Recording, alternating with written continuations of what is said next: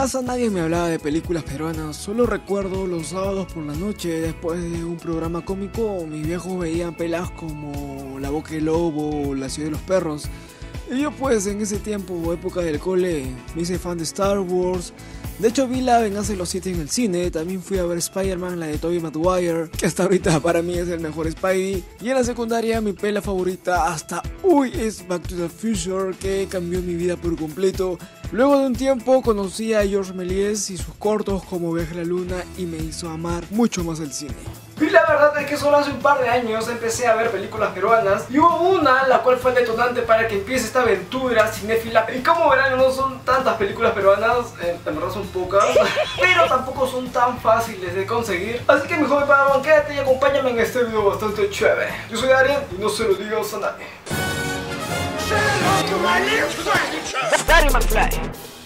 Bueno, para empezar les comento que tengo 18 películas peruanas, entre ellas hay originales, una gran parte, y la otra pues algunas piratas que más adelante pues vamos a ver eso también. Como les comenté al principio, hubo una la cual fue detonante para esta aventura y fue Días de Santiago de Josué Méndez. Una gran película con Pietro Civil. Ah, la miércoles. Si por ahí no la has visto, consíguetela. Se comenta y se dice mucho que es el taxi driver peruano. Y bueno, más allá de eso, Pietro Civil hace una gran actuación. Josué Méndez hace una dirección estupenda. Así que consíguete la búscala ya ahorita. Y ahora les quiero comentar cuáles son las pelas que todavía no veo. Y son cuatro. La compré hace poco nomás. No he tenido tiempo de verla pero se ve la portada nomás se ve bastante interesante. Así que ya me daré el tiempo para verla. Otro clásico peruano que aún no veo es Paloma de Papel. Está pendiente la quiero ver también pero como que no sé no estoy como que preparado o algo así. Una de Panchito Lombardi es Mariposa Negra que todavía no, no la veo. Y otro clásico que yo solamente la he visto por partes cuando está en el cole y es Mañana te cuento. Nunca la vi completa así que me la compré y pues está ahí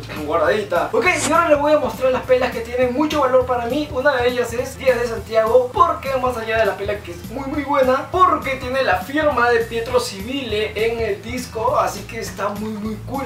Es una de las pelas que aparte que me gustan, está firmada por el actor, por Pietro, así que vale muchísimo para mí. Y la otra pela es del Evangelio de la Carne. Hay una dedicación del director y lo que dice dentro para Darien un gran abrazo de su amigo Eduardo Mendoza muy muy buena pela, deben buscarla y como ya les dije también al principio no todas las películas que tengo son originales eh, son muy complicadas de conseguirlas pero les voy a mencionar cuáles son la primera es Django, la otra cara eh, la primera de Django y la otra La Última Tarde, ok.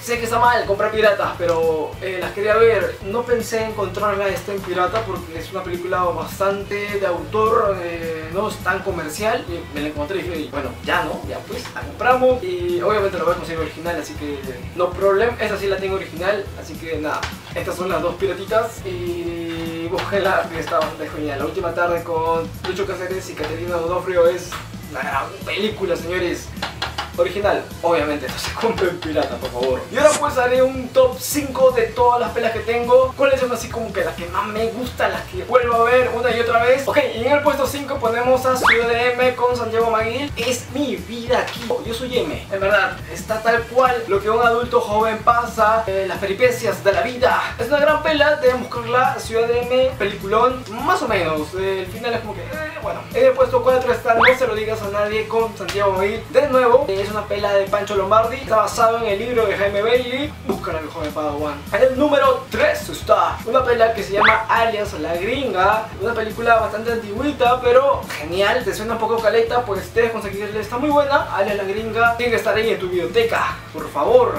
Aquí vamos con el puesto número 2 y es como en el cine. Una comedia. Está muy cool. Me encanta. Si eres comunicador te vas a identificar así en One porque de eso se trata, señores.